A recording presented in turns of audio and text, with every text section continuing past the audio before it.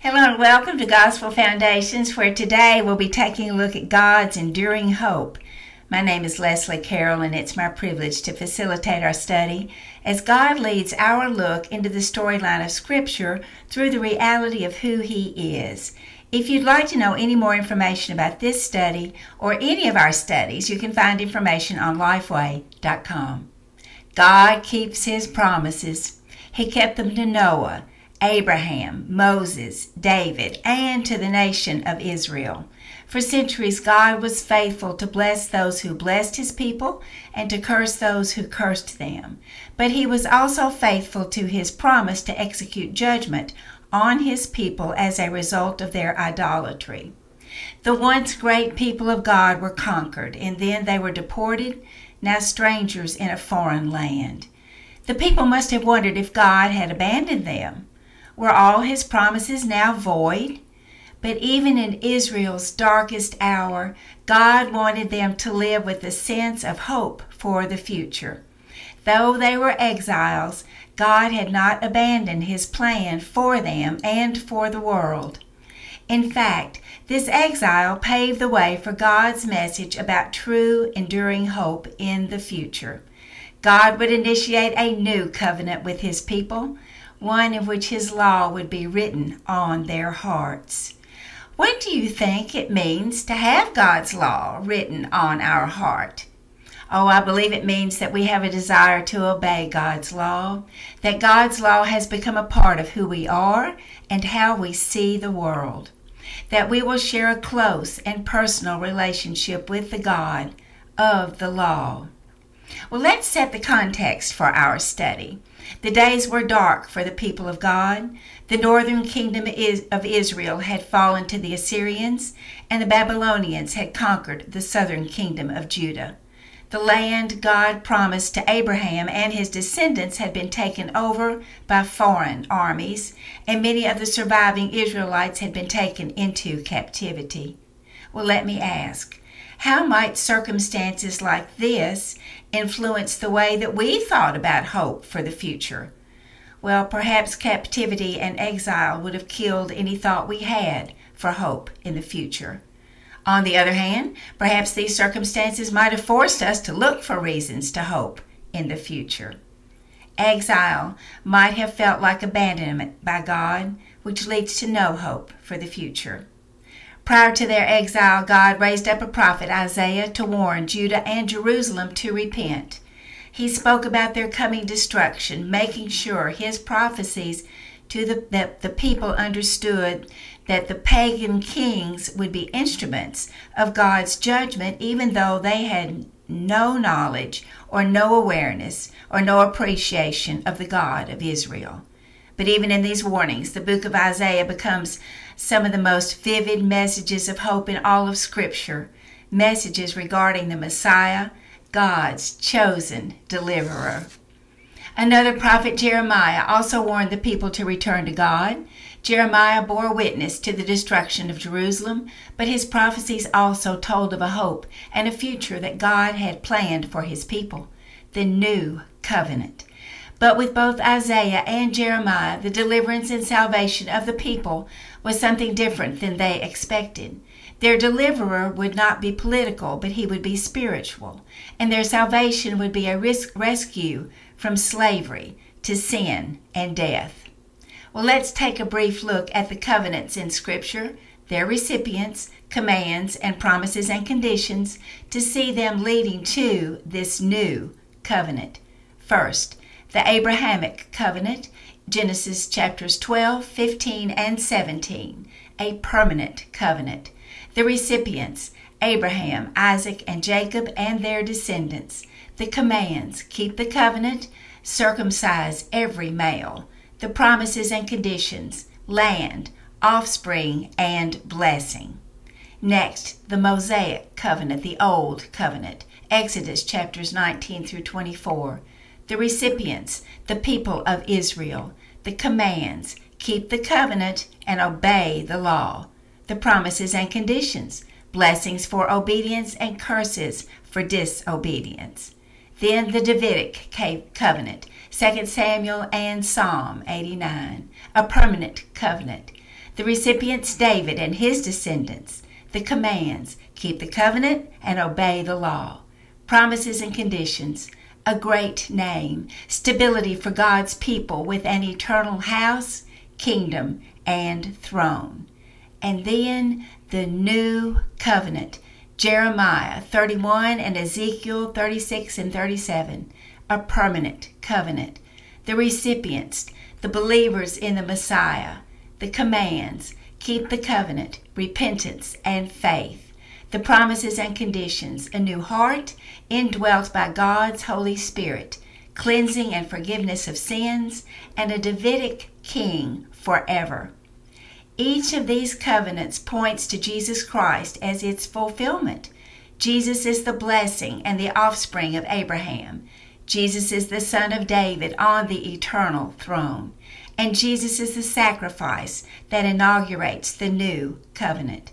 Jesus perfectly obeys the commands of the Mosaic covenant while simultaneously taking upon himself the curse for our disobedience. This is the hope that the whole world needs to hear. God's people had God's law, but were still unable to obey Him due to sinfulness of their hearts. Isaiah and Jeremiah prophesied about a coming day when God would forgive His people's sins and write His law on their hearts. These prophecies point to God's provision of Jesus. Through Jesus, God offers us forgiveness, and through the Holy Spirit, God enables us to obey his commands. Now, let's take a look into Scripture at God providing a suffering servant for his people. We'll be in the book of Isaiah, chapter 53, verses 4 through 12, and they read as follows. Surely he took up our pain and bore our suffering, yet we considered him punished by God, stricken by him, and afflicted. But he was pierced for our transgressions, he was crushed for our iniquities. The punishment that brought us peace was on him, and by his wounds we are healed. We all, like sheep, have gone astray. Each of us has turned to our own way, and the Lord has laid on him the iniquity of us all. He was oppressed and afflicted, yet he did not open his mouth. He was led like a lamb to the slaughter, and a sheep before its shearers is silent so he did not open his mouth. By oppression and judgment he was taken away. Yet who of his generation protested? For he was cut off from the land of the living. For the transgression of my people he was punished. He was assigned a grave with the wicked and with the rich in his death, though he had done no violence, nor was any deceit in his mouth. Yet it was the Lord's will to crush him and cause him to suffer. And though the Lord makes his life an offering for sin, he will see his offspring and prolong his days, and the will of the Lord will prosper in his hand. After he has suffered, he will see the light of life and be satisfied. By his knowledge, my righteous servant will justify many, and he will bear their iniquities. Therefore, I will give him a portion among the great, and he will divide the spoils with the strong, because he poured out his life unto death and was numbered with the transgressors. For he bore the sin of many and made intercession for the transgressors. Oh, what are some of the ways that we see the life and death of Jesus foreshadowed in this prophecy in the book of Isaiah in the Old Testament? I believe we see that Jesus was pierced for our rebellion. Jesus was silent before his accusers. Jesus was crucified as a criminal and buried in the borrowed tomb of Joseph of Arimathea, a rich man. The people must have wondered if there was any hope at all. They were beaten, dejected, and enslaved, and yet they could still call to mind the prophecies from Isaiah, who, though he had warned them of God's coming judgment, also pointed to a future day of God's restoration and deliverance. This restoration would come from the Messiah, God's anointed one. And one of the most vivid descriptions of the Messiah is found in these verses. Well, let's put ourselves in the time of Isaiah's prophecy, listening to these words. Imagine our anticipation of a coming Messiah who would set captives free what kind of Messiah would we expect? Oh, maybe the promised one will stand 10 feet tall, weighing in at 450 pounds of solid muscle. The heavyweight champion of the world. With one swing of his sword, he could chop down a hundred men, take back all that had been stolen from Israel, and reign forevermore. That's what we might expect, and it seems that that is how the prophecy begins in Isaiah chapter 52, verse 13, which says, The servant will be high and lifted up and exalted. Oh, but then, instead of hearing words like king, power, and conquer, we hear words like grief, sorrow, stricken, and afflicted. We start to understand that this servant, servant will be humbled before he is exalted, rejected before he is accepted. In the midst of prophesied enslavement, during the uncertainty, suffering, and oppression of God's people, the Messiah is promised. But instead of a heavyweight champion of the world that we all wanted, we got a disfigured, suffering servant, and we were repulsed by him. What made this servant so repulsive to us? He bore our griefs and carried sorrows. He was stricken, afflicted, pierced, and crushed. We were nauseated at the sight of a Savior who had wounds, because after all, conquerors are not supposed to be wounded. They are the ones that are supposed to be wounding others. But our repulsion runs even deeper than that. This Messiah didn't just bear any griefs and carry any sorrows, he carried ours. We are placed in a position we don't want to be in, forced to confront our sinfulness and need of a Savior. In this passage, we see God's desired outcome, which is salvation for his people, and the way it is accomplished the death of a servant. The victory of God is demonstrated in the righteous servant justifying sinners. The beauty of a holy and loving God is on full display in the cross of Jesus Christ. In this mysterious prophecy, we see a glimpse of Jesus accomplishing the victory of salvation through suffering. At the cross, God fully demonstrated his justice. Holding nothing back, he poured out his full wrath against our sin. At the cross, he fully demonstrated his mercy by sending his son to die in our place, to take the punishment we deserve. Isaiah shared this prophecy approximately 700 years before the birth of Christ. In this, we are reminded that the coming of Christ to die and be raised again was not an afterthought to God. Rather, the gospel has been the centerpiece of God's plan all along. These verses show us that though Israel might have been looking for a political Savior, God would provide them the greater Savior that they truly needed. Now let's look further into Scripture at God restoring the land of His people in the book of Jeremiah, chapter 31, verses 8 through 14, and they read as follows. See, I will bring them from the land of the north and gather them from the ends of the earth. Among them will be the blind and the lame, expectant mothers and women in labor. A great throng will return. They will come with weeping. They will pray as I bring them back. I will lead them beside streams of water on a level path where they will not stumble, because I am Israel's father and Ephraim is my firstborn son. Hear the word of the Lord, you nations. Proclaim it in different coastlands. He who scattered Israel will gather them and will watch over his flock like a shepherd. For the Lord will deliver Jacob and redeem them from the land of those stronger than they. They will come and shout for the joy of the heights of Zion. They will rejoice in the bounty of the Lord, the grain, the new wine, and the olive oil, the young of the flocks and the herds. They will be like well watered garden, and they will sorrow no more. Then young women will dance and be glad, and young men and old as well. I will turn their mourning into gladness. I will give them comfort and joy instead of sorrow. I will satisfy the priests with abundance, and my people will be filled with my bounty, declares the Lord. Oh, why might this prophecy have been so encouraging to God's people when they were in exile? It showed that God still claimed his people as his own. It spoke of God's comfort for his people in bringing them back to their land and the prophecy promised to turn their mourning into joy as God provided all for all their needs. God's people were in exile. The land God had promised to their forefathers Abraham, Isaac, and Jacob was now in the hands of the nations. The best and the brightest of the Hebrews had been taken away from their homes.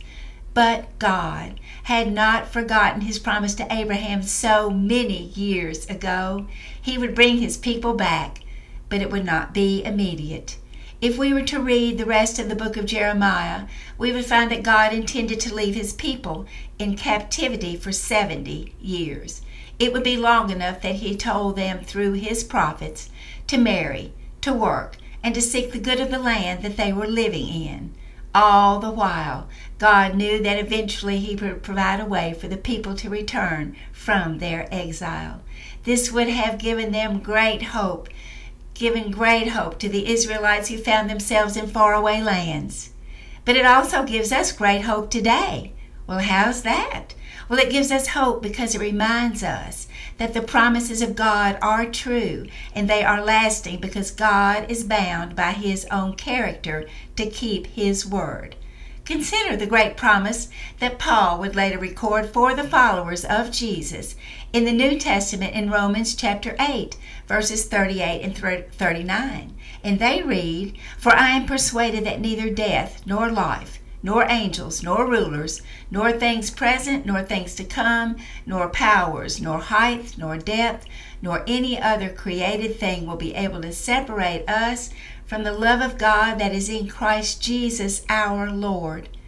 Why can nothing separate us from the love of God? It's not because we're holy, righteous, obedient, or even very lovable in and of ourselves but it is because God's promise to never leave us or forsake us is rooted in Himself, in His character, in His strength, and in His commitment, and thank goodness it is. God would return the people to the land, not because they deserved it, but because He promised that the land was theirs.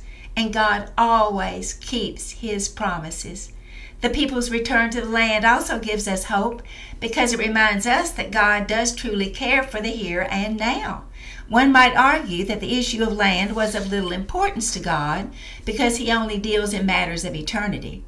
Sometimes we might slip into thinking that God pays little attention to our present circumstances. But our Father in heaven cares about things like our jobs, our homes, and our worries. He cares about today and He cares about tomorrow. We can then confidently cast our cares on Him because He cares for us. 1 Peter chapter 5 verse 7. Finally, the people's return to the land gives us hope because it reminds us that all who believe in Jesus have another land to go home to. In a sense, we are all strangers and aliens. When we put our trust in Jesus, we are adopted into God's family, and as such, we have a new home with Him. This world, as it is now, even our bodies as they are now, are only temporary dwellings in which we reside, but our true home is elsewhere, the new heavens and the new earth.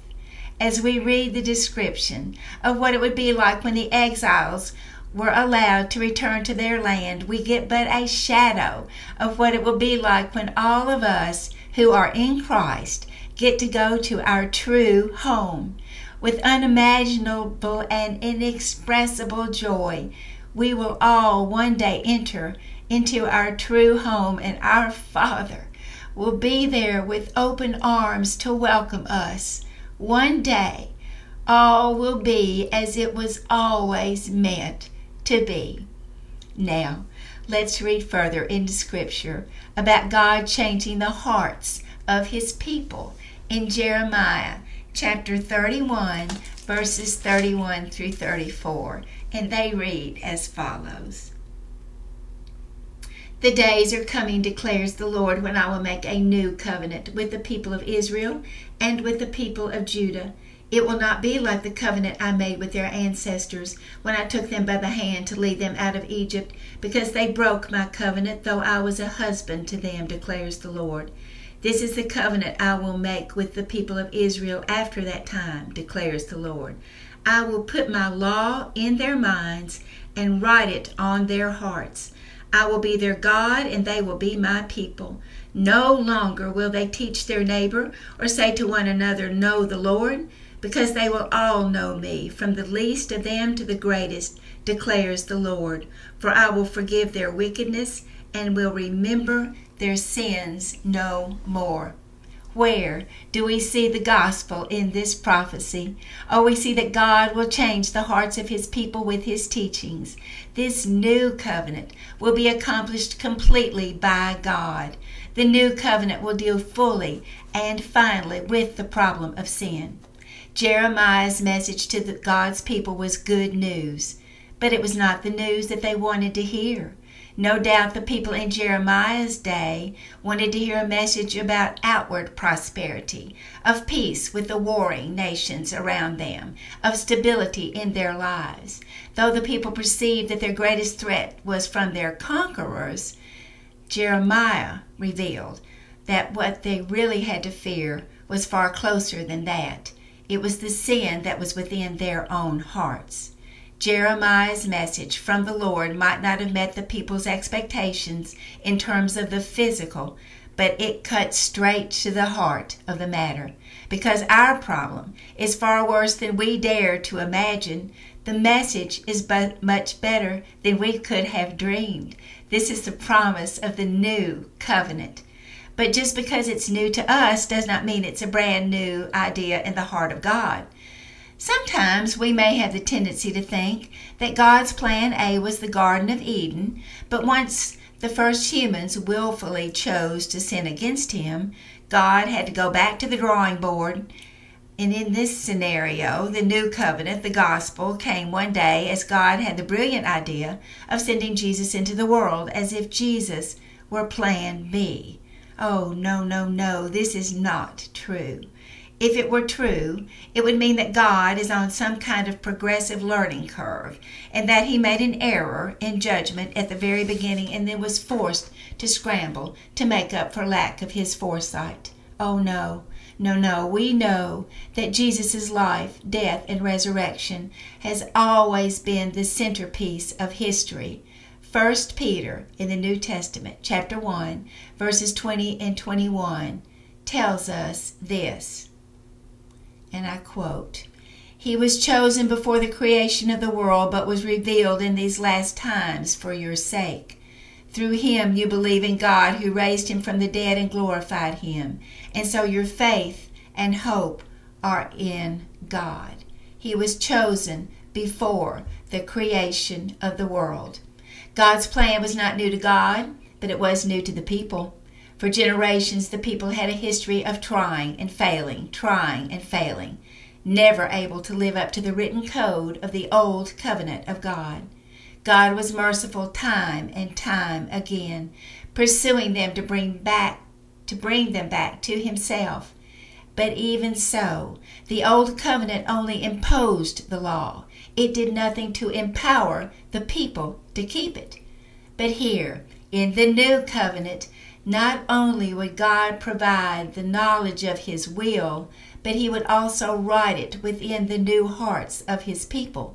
The law was moving from the external to the internal. Many people think of believing the gospel as a choice uh, between going to heaven or going to hell. And they know they don't want to go to hell, so they choose uh, to choose to trust in Christ and to be saved, um, so that they will live eternally in heaven instead? Well, while it's true that trusting in Christ for forgiveness and righteousness is indeed the only way to God, if that's all we think about when we think of the gospel, then we're falling far short of its implications. The gospel is the message that because our hearts are so corrupted in sin, by sin, that we need a new heart that is turned toward God. We need a change within us. And that's why this new covenant takes place where it does. It's not written on tablets or parchment, but it's written on our new hearts. When we believe the message of the gospel, the old person that we once were dies, and we are spiritually resurrected with Christ. This new covenant meets us at our deepest need a heart engraved by sin and with sin. It promises a new heart that is indwelt by God. And this new covenant gives us the amazing privilege of living in fellowship with our Creator. The new covenant includes the privilege of a heart that truly knows God. Because we have been forgiven and have been given new hearts, we rely on the Holy Spirit as we obey God's commands and live on mission to make His kingdom known to all the world. Let's carry out our mission and with our new hearts today be on mission for the Lord and with the Lord with our new hearts today. Oh, I hope you've enjoyed looking at God's enduring hope and have been encouraged. I have, and I'm so glad that you've joined me. There will be a contact slide that will come up shortly, and I'd love to hear from you with any questions, comments, or anything that you'd like to share. And I hope you will join me next time when we will be looking at God's continued strength. Oh, don't miss it. Until then, God bless you and keep you.